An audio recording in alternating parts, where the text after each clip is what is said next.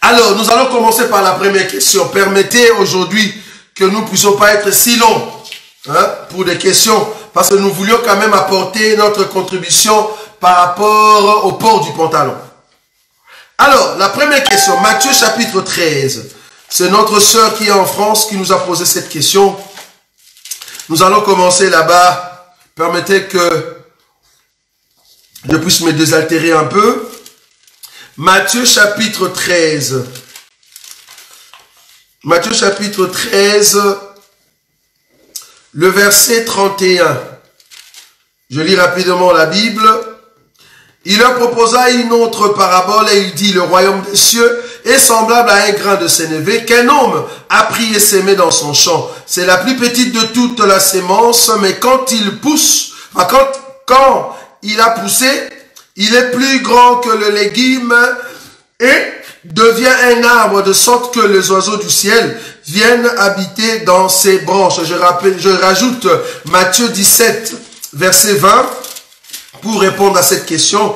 Euh, Matthieu 17, verset 20. C'est à cause de votre incrédulité, leur dit Jésus, je vous le dis en vérité, si vous aviez de la foi comme un grain de sénévé, vous diriez à cette montagne, transporte-toi d'ici et là, et elle se transportera, rien ne vous sera impossible. J'ai pris cette écriture parce que notre bien-aimé nous a posé la question de savoir euh, les niveaux de la foi que nous devons avoir. Parce que Jésus a dit que nous devions avoir la foi comme le grain de sénévé. Alors que le grain de sénévé est trop petit, est-ce que notre foi doit être si petite comme ça? Je crois que pour répondre à, cette question, d'abord nous devons comprendre quand est-ce que le grain de sénévé a une grande foi. Quand est-ce que le grain de sénévé a une grande foi? Ce n'est pas avant qu'il entre dans la terre. Parce que Jésus voulait euh, comparer notre foi avec le grain de sénévé. Comprenez qu'il y a deux mouvements. Il y a d'abord le grain de sénévé qui n'est pas encore entré sous la terre et le même grain de, de, de sénévé qui entre sous la terre et qui ressort. C'est ça la différence. Quand Jésus parle de la foi, que nous devons avoir la foi comme le grain de sénévé, ce n'est pas au niveau avant d'entrer sous la terre. C'est quand le grain est déjà entré sous la terre et que le grain ressort, ça devient un grand arbre. C'est là-bas que Jésus est en train de nous dire d'avoir cette foi-là. C'est une foi grande, mais qui commence petit. Or, cette foi qui commence petit va s'agrandir quand nous allons mourir. Quand je dis mourir ici, mourir quant à la chair.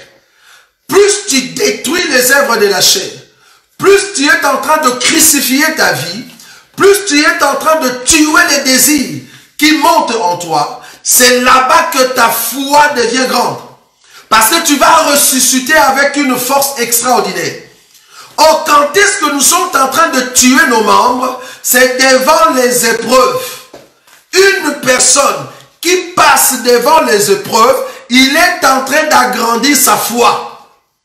C'est devant des persécutions, c'est devant des tribulations que nous devons démontrer la dimension de notre foi. Je vais rajouter une autre écriture.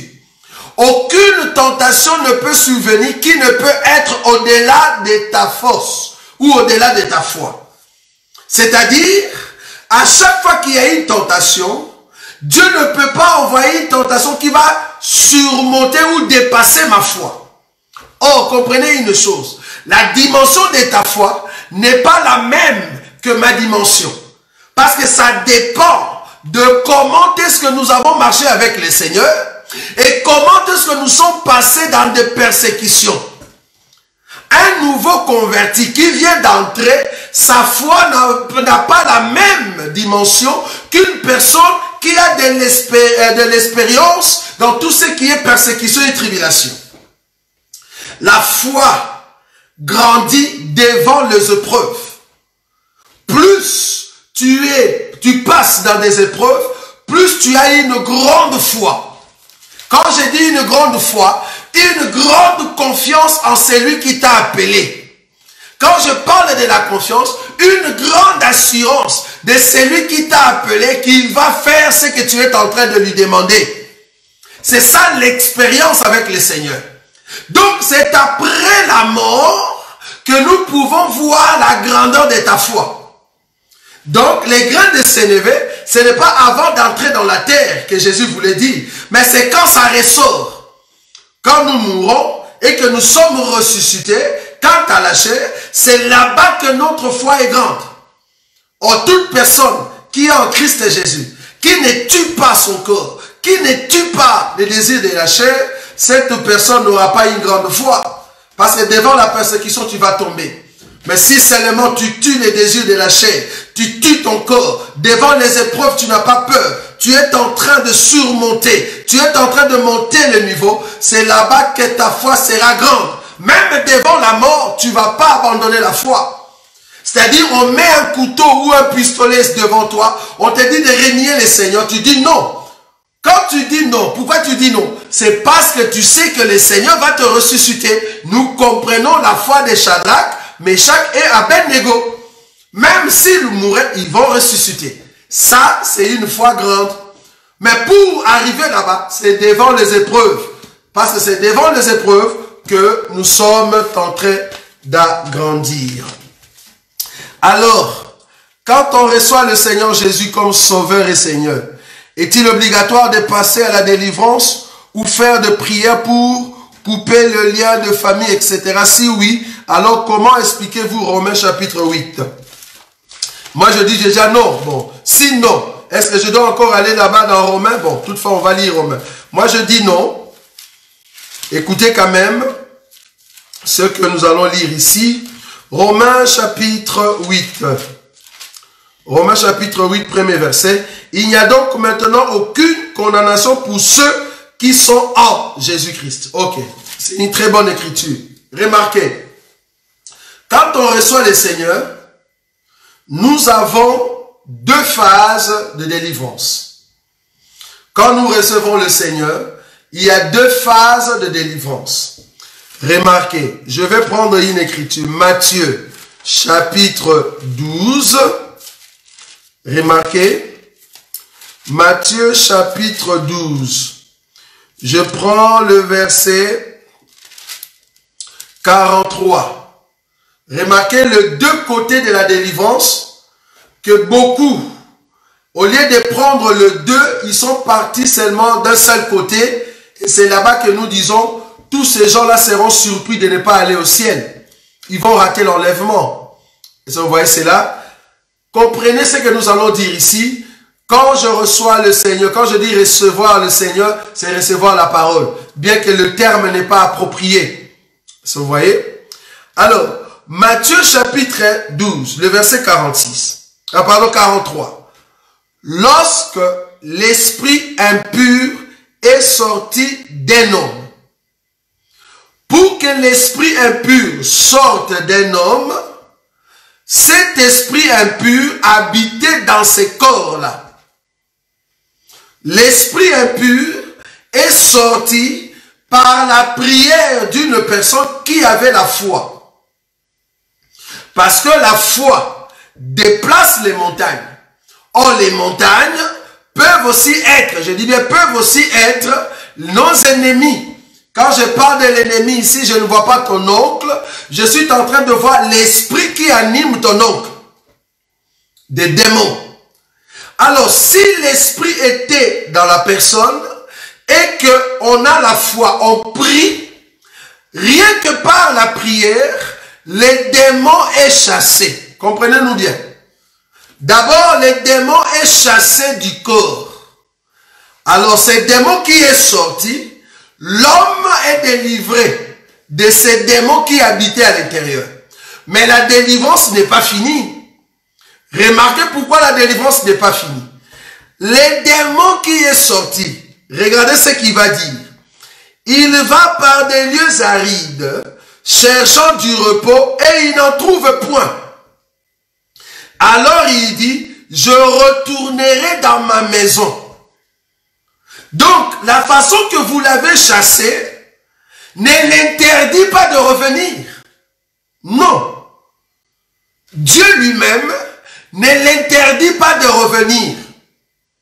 Mais ce que Dieu va faire, si tu es son enfant, il va faire que toi, tu sois maintenant protégé. Mais les démons, Dieu ne va pas l'interdire de venir. Les démons viendra. Je donne une autre écriture, peut-être tu ne vois pas. Les diables rôdent tout autour comme un lion rugissant, cherchant qui dévorer. Pourquoi Dieu ne l'avait pas chassé trop loin au lieu de le laisser rôder tout autour? Maintenant, comme il cherche qui dévorer, est-ce que Dieu est en train de chasser les diables ou Dieu est en train de te protéger, toi, une maison, pour que les diables n'entrent pas? C'est ça ce que tu devais réfléchir. C'est là-bas, là où tu devais partir. Regardez, le démon a dit, je vais rentrer dans ma maison. Maintenant, quand il est rentré, il trouve la maison vide, balayée.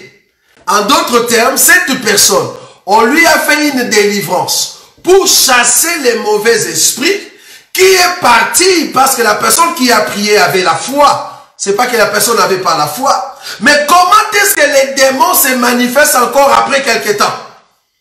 C'est parce que la deuxième partie de la délivrance n'a pas été respectée.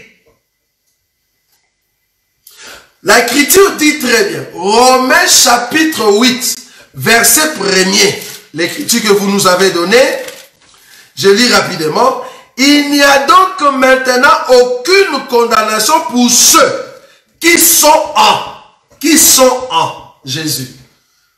Est-ce qu'une personne qu'on a chassé les démons, est-ce que cette personne est en Jésus? Non. On peut chasser les démons, mais la personne n'est pas en Jésus. Pour être en Jésus, il faut que dans ton cœur, au lieu que le cœur soit balayé, vide, on doit remplacer à la place de ces démons quelque chose.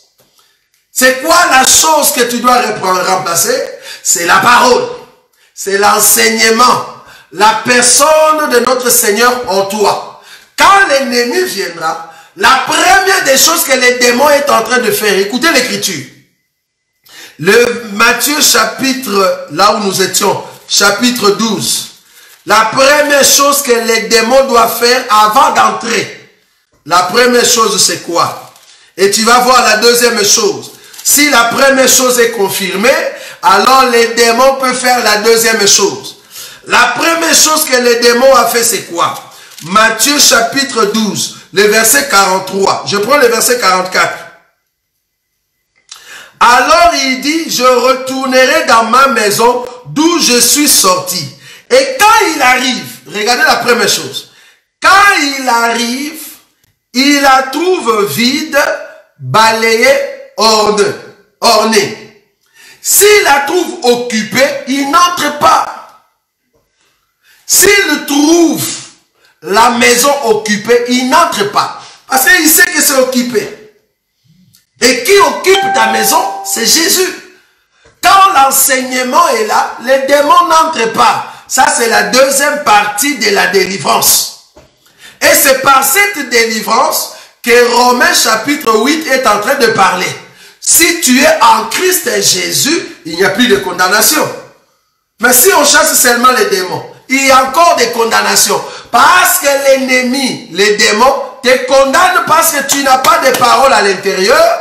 Alors la condamnation de cette dernière, il ne viendra plus seul. Il va appeler cet autre. Esprit plus méchant que lui. Donc, il y a l'hiérarchie dans le monde des ténèbres. Lui, c'était un petit démon. Il va chercher des grands démons puissants que lui. Ils vont entrer dans ton cœur. L'hiérarchie démoniaque. On a déjà enseigné ça. Donc, ils vont entrer dans ton cœur. Donc, Romains chapitre 8, c'est pour ceux qui ont remplacé à la place de ces démons la parole de Dieu et l'enseignement? Si tu n'as pas l'enseignement, si tu n'as pas la parole, alors les démons viendront se jouer de toi. Satan est venu tenter Jésus avec la parole. Il doit trouver aussi, il est écrit, c'est-à-dire il doit trouver l'enseignement. Si tu n'as pas la parole, les démons vont se jouer de toi. Donc, pour répondre à cette question, Le Romains chapitre 8 verset 1, c'est seulement ceux qui ont reçu la délivrance que nous appelons la parole en nous. Si tu as la parole en toi, alors les démons et les liens familiaux, oubliez, il n'y a plus de condamnation. Quelqu'un qui est dans l'enseignement, qui l'a mis dans son cœur, je ne dis pas écouter seulement, mettre dans son cœur, c'est-à-dire vivre la parole de Dieu, le mettre en pratique, cette personne n'est plus dans les liens familiaux. Cette personne n'est pas possédée de mauvais esprits. Il peut être oppressé. L'oppression est normale, mais pas la possession. C'est lui qui possède la parole, ne peut pas être possédé d'un autre esprit. Parce que tu possèdes déjà Jésus. Jésus a possédé ton cœur. Jésus a possédé ton âme. La parole possède ton être. Alors les démons ne peuvent pas te posséder. Les démons ne peuvent pas posséder un enfant de Dieu. Non. Un sorcier ne peut pas posséder un enfant de Dieu. Non. Pourquoi? Parce que tu es déjà possédé par Jésus. Mais cependant, si dans ton cœur tu es vide, c'est là-bas que les démons vont se jouer de toi. Qu'est-ce que signifie recourir à la prière, euh, aux supplications avec jeûne, sac et cendres? C'est un acte d'humilité, Daniel 9.3. Euh, quelle est l'heure de l'offrande du soir? Au temps de la grâce? Quand est-ce que l'heure de l'offrande euh, Daniel 9. Ok. Si j'ai compris, le bien-aimé est en train de nous donner l'écriture de Daniel chapitre 9 et le euh, Daniel, je crois, à partir du verset 21, quelque chose comme ça. Mais quand on parle de l'offrande du soir, il faut comprendre que Daniel, c'est au fait un juif. Quand il parlait de l'offrande du soir, il faut comprendre qu'en Israël, le loi qu'on avait établie, tout juif le mettait en pratique dans la lettre. Il y avait l'offrande du matin, et l'offrande du soir, dans le même jour. Alors le juif pratiquait cela dans la lettre, c'est-à-dire il le faisait physiquement. Mais nous, dans la révélation, nous avons compris que l'offrande du matin et l'offrande du soir n'est rien d'autre que notre Seigneur Jésus. Il s'est offert pour deux peuples, le peuple du matin et le peuple du soir. Donc quand Jésus est venu, il devait être mis à la croix à la sixième heure. Est-ce que vous comprenez? Donc il devait monter déjà à la croix à la sixième heure. Si pas la sixième heure, je crois à la troisième heure. Donc il devait déjà monter à la croix. Et vous allez voir que les temps qu'on l'a mis à la croix, jusqu'au temps où on l'a fait descendre de la croix, c'était une partie le matin et une partie le soir. C'est pour accomplir l'offrande du matin et l'offrande du soir. L'offrande du matin, c'était le prix à payer pour un peuple. Et l'offrande du soir, c'était aussi le prix à payer pour un peuple. Mais là, quand l'Écriture parle dans le livre de Daniel de l'offrande du soir, là, nous comprenons qu'il était en train de parler de Christ qui s'est offert pour l'Église. Parce que l'offrande du soir, le peuple du soir, c'est nous l'Église, c'est nous le païen qui était en dehors d'Israël, que Jésus a accepté de mourir le soir pour nous. C'est comme ça que nous pouvons l'expliquer. Donc, quand on parle de l'offrande du, euh, soir, c'est-à-dire c'est l'offrande du temps de la grâce. Pourquoi Myriam seule a-t-elle été touchée par la lèpre, ayant injurié Moïse avec Aaron? Nombre 12, 2. Pourquoi dans les livres de Matthieu, nous voyons que Judas s'était pendu, mais pas Pierre? Ok, merci. Je crois que l'histoire de Myriam et d'Aaron, nous expliquons dans la lettre, tu vas comprendre que Aaron étant sacrificateur, je dis bien dans la lettre, parce que nous devons prêcher dans la doctrine et dans la révélation, vous allez comprendre que dans la lettre, le sacrificateur, le sacrificateur ne peut pas être lépreux. Est-ce que vous voyez? Un sacrificateur, un souverain sacrificateur, dans la loi ne peut pas être un lépreux. Quand je parle de la lèpre ici, je vois la lèpre dans la chair. Donc Aaron ne pouvait pas recevoir la lèpre dans la chair parce que ce jour-là, ça devait être la fin de son service sacerdotal. Alors son enfant devait monter.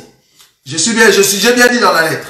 Mais dans la révélation, nous comprenons que Aaron et Myriam forment une même personne. Et que Aaron, c'est la partie d'homme. Myriam, c'est la partie de la femme. Or, c'est la partie femme qui reçoit le malheur. C'est la partie femme qui porte le malheur. C'est la femme qui porte le fardeau.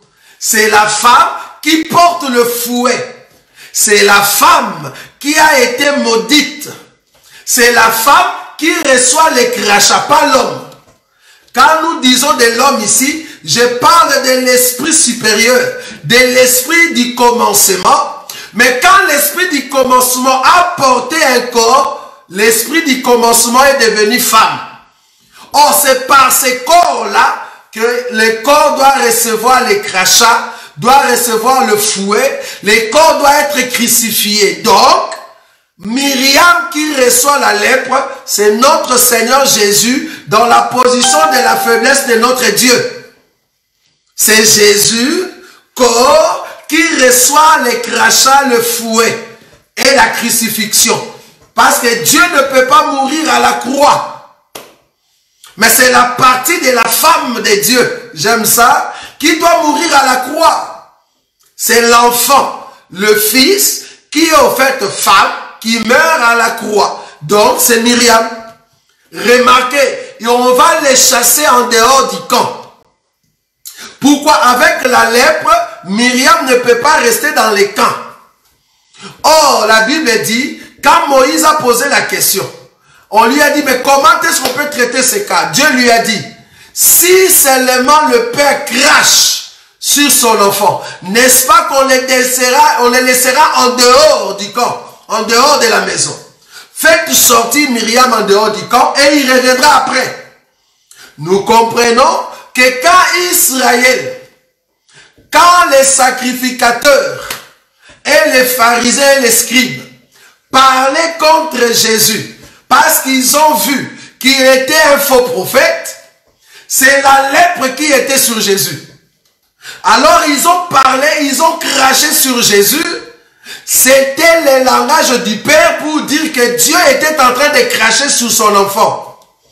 Alors, comme on a craché sur son enfant, cette malédiction qu'il a portée, il faut le clouer ou crucifier en dehors du camp. C'est comme ça que le Seigneur Jésus va être crucifié en dehors du camp. Comme Myriam a été chassée en dehors du camp, or en dehors du camp, il va rencontrer un peuple c'est là-bas qu'il va recevoir la guérison, c'est-à-dire devenir fort dans sa puissance pour revenir dans les camps en Israël. Donc aujourd'hui, Jésus a été chassé du camp, il est avec nous, il est puissant, mais après il reviendra dans les camps puissants. La lèpre ne sera plus là. Parce que Israël va regarder le Seigneur et Israël va dire, Hosanna, béni soit celui qui vient au nom du Seigneur. Alors qu'ils ont craché sur lui. La lèpre a été sur le Seigneur. On l'a considéré comme un faux prophète. Mais ce jour-là, ils vont bénir le Seigneur pour l'arrivée de Myriam dans les camps. J'aime ça. Voilà. Pour rentrer dans les détails, veuillez nous consulter. Nous allons en parler. Mais ça se trouve déjà dans le YouTube. Je crois si vous tapez euh, le crachat, Hein, si vous, Roger Bouleli, les crachats, quelque chose comme ça, je crois que nous l'avons déjà expliqué. Tomber à l'église, c'est pour les gens qui ont de mauvais esprits. Pourquoi le pasteur doit-il poser ses mains aux fidèles? Ok. Je crois que tomber à l'église, ce n'est pas seulement euh, le mauvais esprit, non. Parce que vous n'aurez pas assez d'écriture pour prouver cela. Nous croyons que quelqu'un peut tomber parce qu'il a de mauvais esprits. Parce que la puissance de Dieu qui vient te rencontrer peut te faire tomber. Nous avons beaucoup d'écritures. Mais nous voyons aussi que beaucoup de gens tombaient devant la gloire de Dieu. C'est-à-dire devant la gloire de Dieu, nous voyons aussi des gens tomber. C'est-à-dire la puissance de Dieu s'est manifestée et voilà, la personne tombe. Ce ne sont pas des mauvais esprits, mais c'est la puissance de Dieu qui s'est manifestée et la personne tombe. En tout cas, nous avons des écritures pour prouver cela. Cependant, euh, pourquoi on impose le main sur le fidèle? C'est par rapport à l'écriture. La Bible nous dit euh, d'abord, en ce qui concerne l'enseignement sur l'imposition de main, ça se trouve aussi dans, euh, sur YouTube, hein, dans l'imposition de main. Là-bas, nous disons que nous avons l'imposition de main après les baptêmes. C'est-à-dire quelqu'un qui reçoit le baptême, bibliquement parlant, il faut lui imposer le main. Donc nous imposons le main pour que la personne manifeste les grâces qui est en lui. Ce n'est pas le main du pasteur qui, euh, qui déclenche au fait les dons qui se trouvent à l'intérieur, mais c'est plutôt l'acte que nous avons posé. Le Seigneur vient maintenant ouvrir des grâces qui est dans cette personne selon la recommandation du Seigneur. À part l'imposition de main après les baptêmes, nous avons aussi l'imposition de main pour les malades. Quelqu'un qui est malade, que ce soit physique ou soit spirituel, nous lui imposons le, mal, euh, le main. C'est-à-dire nous imposons le main pour que cette personne reçoive la guérison. La Bible nous a dit, nous, nous a dit, nous imposerons le main aux malades et les malades seront guéris. C'est ce que le Seigneur a dit. Donc l'imposition de main pour les malades est biblique. C'est-à-dire, nous croyons que cette personne qui est malade, je vais imposer le main, mais ce n'est pas moi qui guéris, c'est le Seigneur. Moi, je ne fais que la recommandation. Une personne qui a un problème euh, au niveau spirituel, je prie pour la personne, je lui impose le main, afin que le Seigneur prenne en charge sa vie. C'est comme ça que la personne reçoit la délivrance.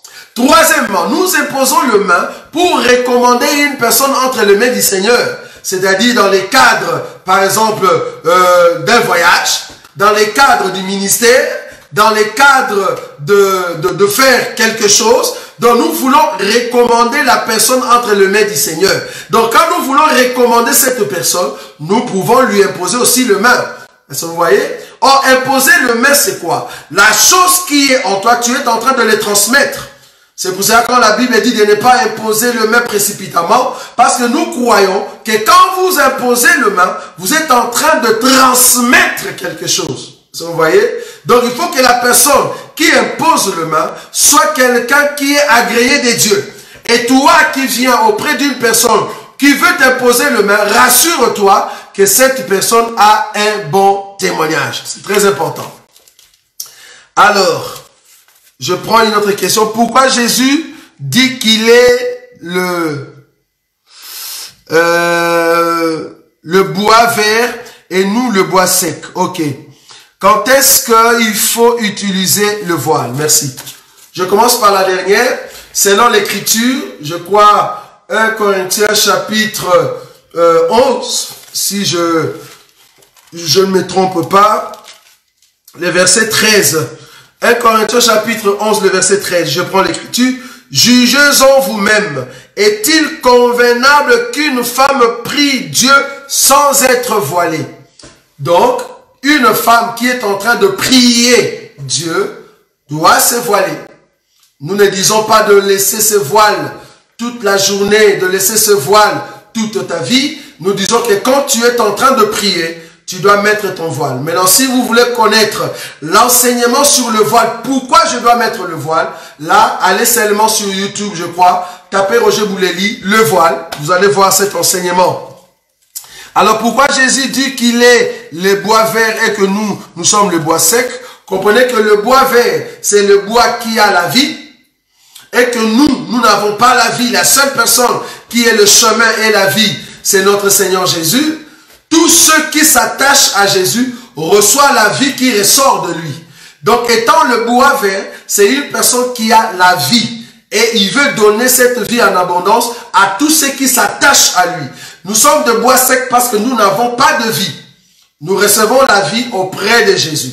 Donc, si tu t'attaches à Jésus, alors tu reçois la vie. Donc, quand on dit le bois vert, c'est le bois qui a la vie. Et il veut donner cette vie à toute personne qui s'attache à, la personne de Jésus, c'est là-bas que tu auras la vie. C'est dans ce sens-là.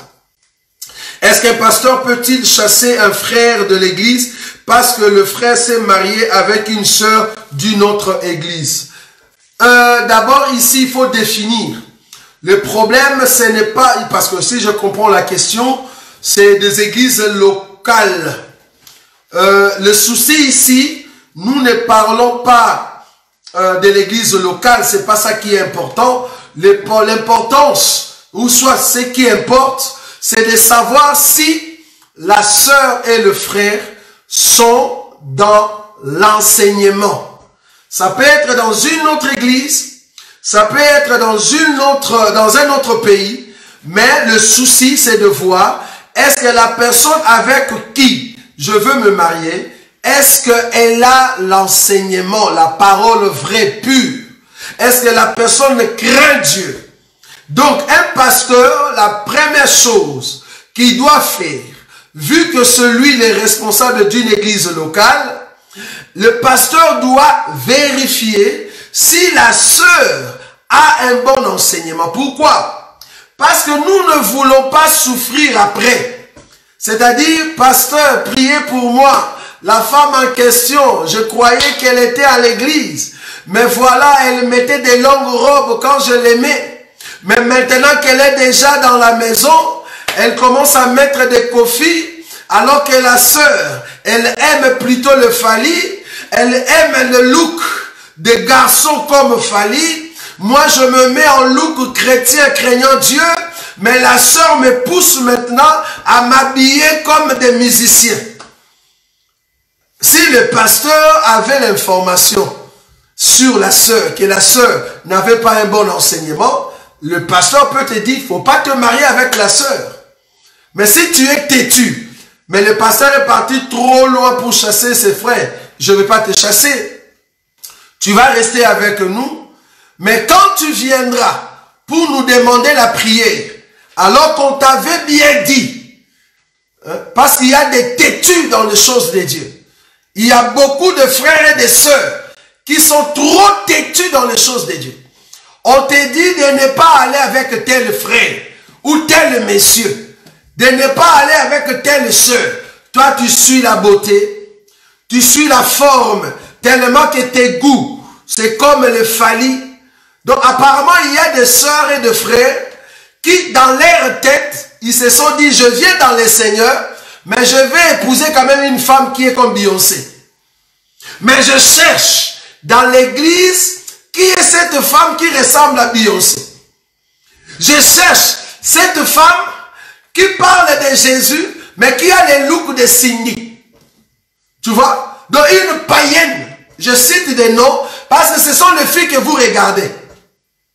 Je cherche un frère, mais il faut que le frère ait les goûts de JB. Je cherche un frère, mais je veux que le frère soit vraiment comme euh, Fatih. Mais là, il est quand même trop gros. Que Dieu nous aide. Ça vous voyez? Donc, si tu cherches ces goûts-là dans l'église, tu ne vas pas en trouver. À moins que ce soit une personne païenne qui est venue dans l'église, qui s'est camouflé pour t'amener en enfer.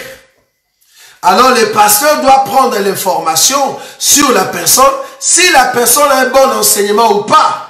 Le but du pasteur, c'est de t'aider pour que quand tu entres dans le mariage, tu ne pleures pas trop.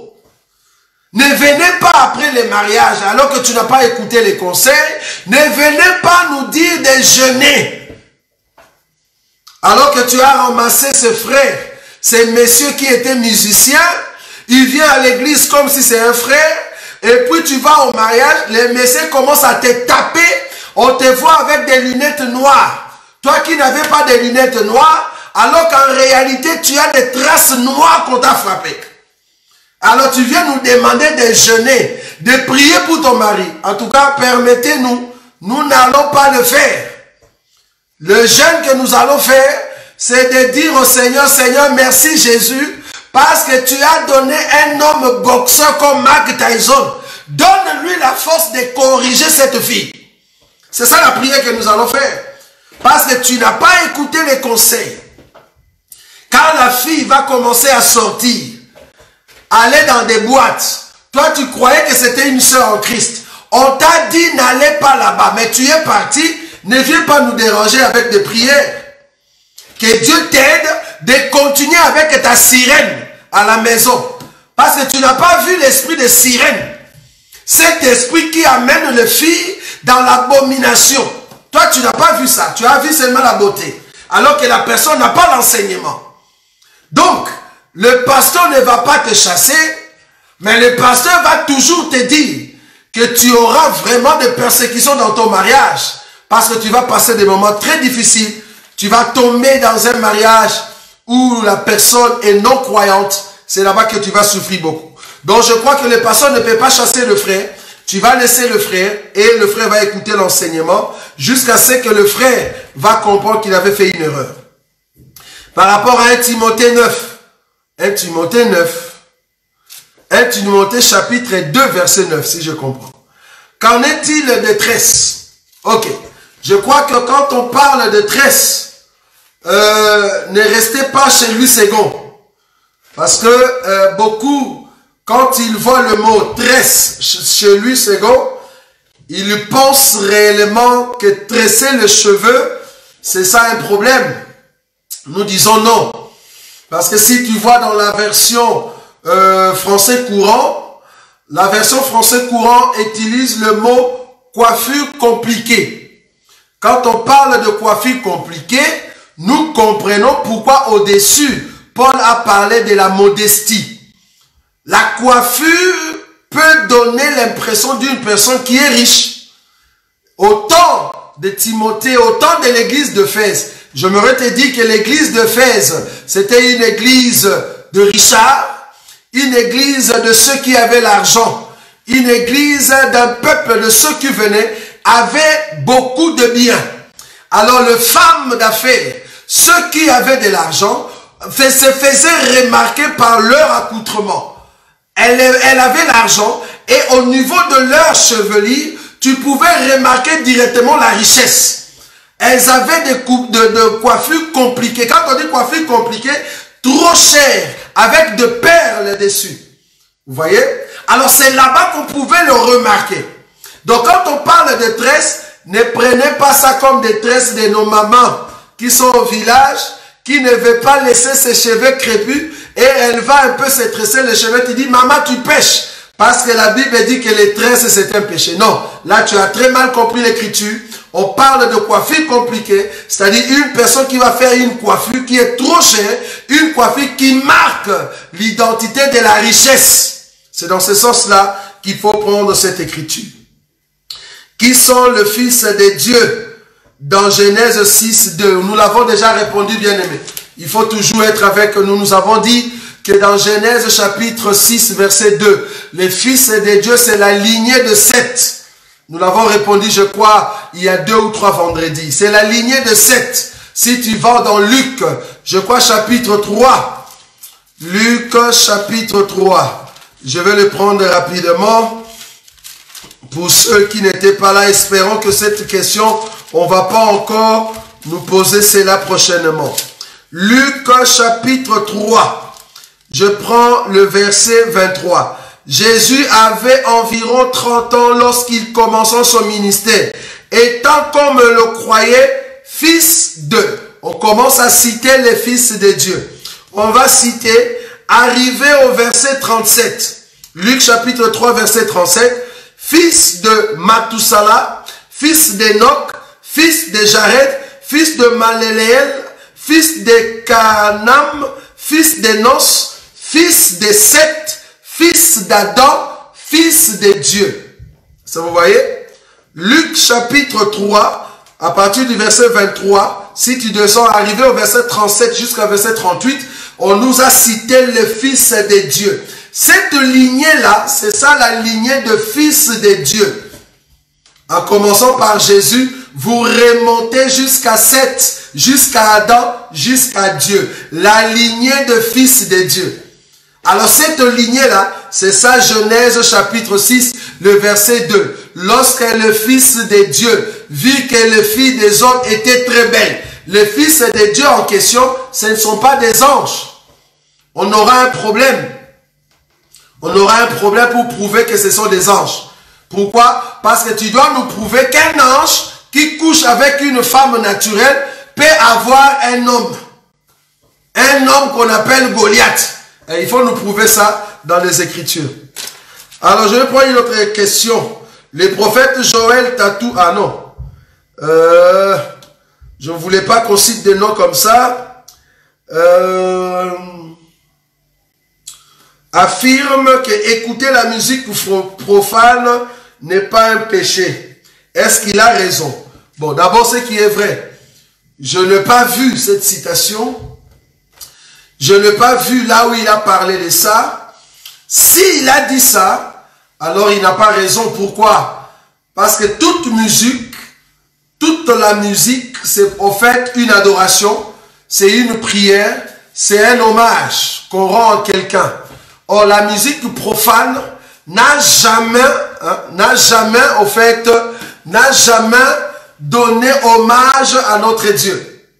La musique profane donne hommage à la femme, donne hommage à l'argent, donne hommage à un homme physique, donne hommage au président de la République, donne hommage au roi de ces mondes pour profiter de l'argent.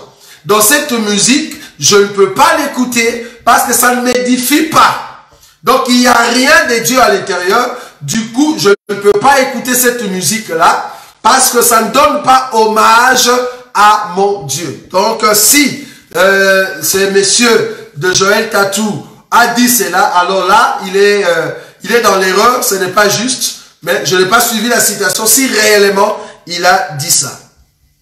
Quand l'Église sera de retour pour les milléniums, il y aura aussi le païen sur terre. Merci beaucoup. Quand tu dis païen, c'est-à-dire il y aura des hommes qui n'ont pas au fait euh, cru au Seigneur Jésus. Oui, parce que ce n'est pas encore la fin du monde. Ce n'est pas encore la fin du monde. Quand est-ce que ceux qui ne croient pas en Jésus seront tous exterminés du monde? Ça, c'est la fin du monde. Mais ici, le millénium, ce n'est pas encore la fin du monde. C'est encore les temps où le Seigneur vient établir son royaume sur la terre. Mais la différence est que pendant ces temps-là, les diables sera lié. Donc, les païens ne vont pas manifester ce qui est le paganisme animé par les esprits mauvais, par des démons et par Satan. Pourquoi? Parce que ces esprits-là et leur chef Satan les Satan sera lié et les démons n'ont pas de pouvoir. Donc, ces gens-là, ils n'auront pas de, pouvoir sur la terre avec leur position païenne ou païenne. Ils seront des hommes sur la terre, mais ils vont pas manifester la puissance du paganisme, c'est-à-dire des prostituées, des criminalités, de francs-maçons, nous ne le verrons plus. Pourquoi? Parce que ça sera le royaume éternel établi sur terre. Pendant mille ans, il y aura la paix et rien ne se fera de tort. Mais après les mille ans, Satan sera relâché. Et il viendra avec un peuple pour attaquer les camps des saints. C'est là-bas qu'il vient avec la séduction. Mais pendant les mille ans, la séduction n'y est pas. Bien qu'il y a les hommes sur la terre, mais ces hommes n'ont plus la puissance. Maintenant, les gens qui sont sur la terre, nous qui sommes enfants de Dieu, nous sommes tentés par les diables. Mais les diables ne peuvent pas nous posséder parce que Jésus a possédé nos cœurs. Ça sera de la même façon dans ces temps-là. Jésus va régner pendant mille ans. Mais ceux qui n'ont pas le Seigneur, ils ne vont pas manifester la puissance du paganisme. Parce que Jésus sera le roi et c'est lui qui va régner. Donc, il y aura des hommes sur la terre que tu appelles païens, mais ils n'auront pas la puissance de manifester le paganisme. Pourquoi? Parce que le paganisme est animé des mauvais esprits, est animé de Satan. Or, Satan sera lié. Ces gens-là seront seulement des hommes animaux qui seront sur la terre. Mais cependant, nous, nous serons différents de ces gens-là. Pourquoi? Parce que nous aurons l'esprit supérieur et nous allons gouverner sur la terre. C'est ça la différence. Euh, que symbolise la couleur rouge du sang dragon Apocalypse 12, 3. Un autre signe apparut encore dans le ciel et voici c'était un grand dragon rouge ayant sept têtes et dix corps et sur ses têtes sept diadèmes. Le rouge ici ne le voit pas dans l'essence du sang. Le rouge ici dans l'essence du feu ardent. Il faut le voir dans l'essence du feu ardent parce qu'il faut aller dans la présentation de Satan quand on l'a présenté, je crois, dans le livre d'Ézéchiel et Ésaü, on le présente comme étant ayant, euh, euh, étant comme une étoile euh, brillante. Une étoile, un astre brillant, voilà. Étant comme un astre brillant. Ça vous voyez? Quand on le voit rouge, le rouge ici, remarquez, la bête, cet animal, le dragon, on le voit dans le ciel. Il n'est pas encore sur terre. Mais on le voit cette tête parce qu'il est en train de diriger le roi de la terre. C'est ce que nous avons dit le dimanche. Le sept têtes, c'était le sept roi ou le sept royaume qui combat Israël. Ces royaumes sont animés par l'esprit de Satan qui est dans le ciel. Alors les combats qu'il y aura dans le ciel, il faut qu'on les jette sur terre. Et cet homme est jeté, qu'on le voit rouge. Pourquoi? Parce que c'est l'image du feu. C'est l'image, la couleur du feu. Ce n'est pas le sang. C'est l'image d'une pierre ardente. C'est l'image de ces astres brillants. Et c'est comme ça qu'on est en train de le jeter. Une pierre ardente, une étoile qui tombe. Et qu'on a donné la clé de l'abîme. On viendra là-bas. Si vous voyez, c'est là. Donc c'est une pierre ardente qui est tombée. Quand on dit ardente, c'est-à-dire rouge. Ça va? Mais là, vous allez comprendre que ça représente le, côté du feu. Ce n'est pas le côté du sang. Nous allons prendre encore une, une question. Juste, ok, merci beaucoup. Voilà. Waouh, c'était chaud. Que Dieu nous vienne en aide. Nous serons encore ici les dimanches. Comme vous pouvez le comprendre, nous répondons aux questions pour donner juste une idée de la réponse, mais nous n'entrons pas dans beaucoup de détails, sinon nous allons rester ici jusqu'à demain.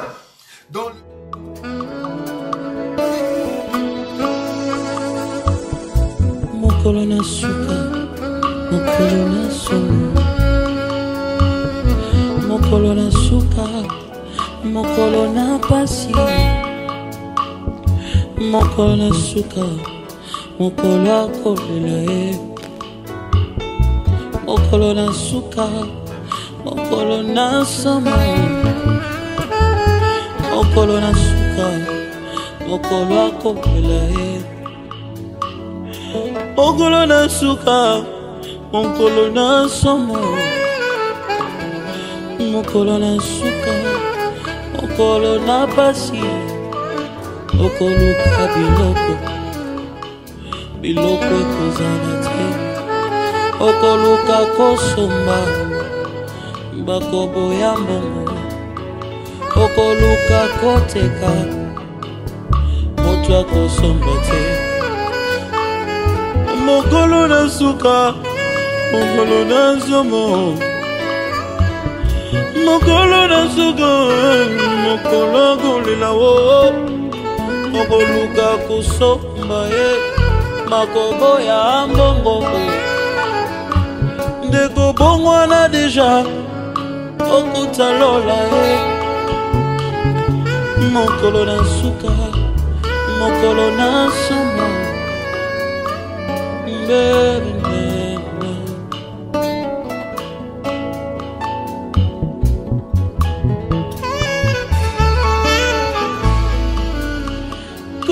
colon, eh, yeah, colon, ah, ah, colon.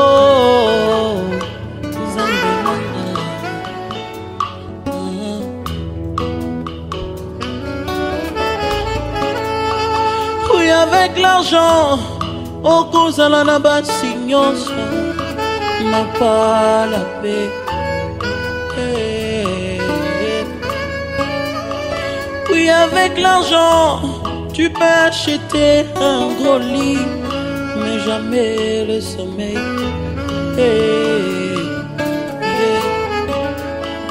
Oui, avec l'argent, tu peux avoir de l'influence, mais pas happy. Kolo kolo we go kolo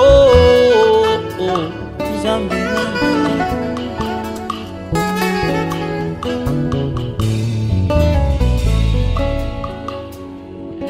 mokolo na suka mokolo na solo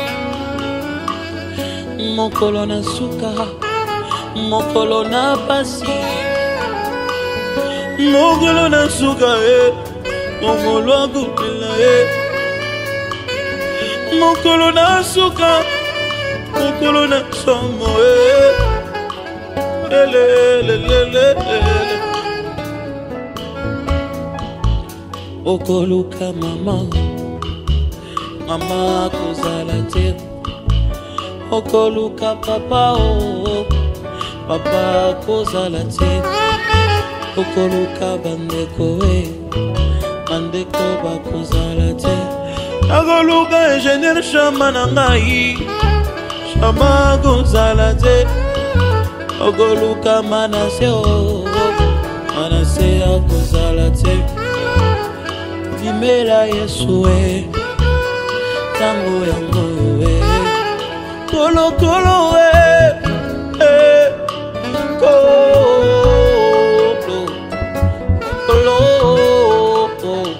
Zambe. Oui, avec l'argent, tu peux avoir plusieurs voitures, mais pas la paix. Eh, eh. Oui, avec l'argent, tu peux avoir des lits, jamais le sommeil. Eh, eh. Oui, avec l'argent, tu peux gagner des relations, mais jamais le ciel. Eh. Oui, avec l'argent, tu peux gagner des relations, mais jamais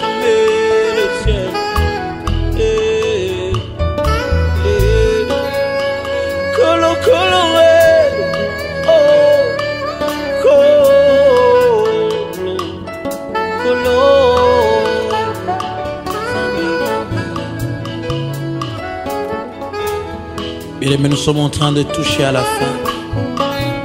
Je crois que bientôt le retour du Fils de l'homme est déjà en train de se, montrer. Il y a des signes précurseurs, des signes qui annoncent la fin. Ton argent n'achètera pas ta place dans les ciels.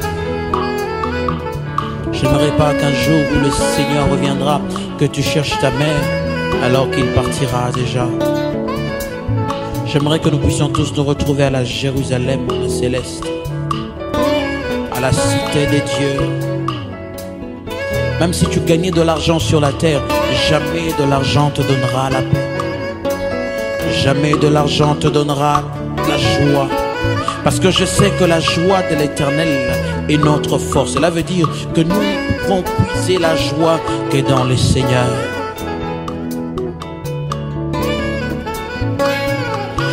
Oui, avec l'argent, tu peux tuer toute la terre, mais jamais l'éternel. Eh, eh. Oui, avec l'argent, vous pouvez créer des virus, mais jamais la paix. Eh, eh.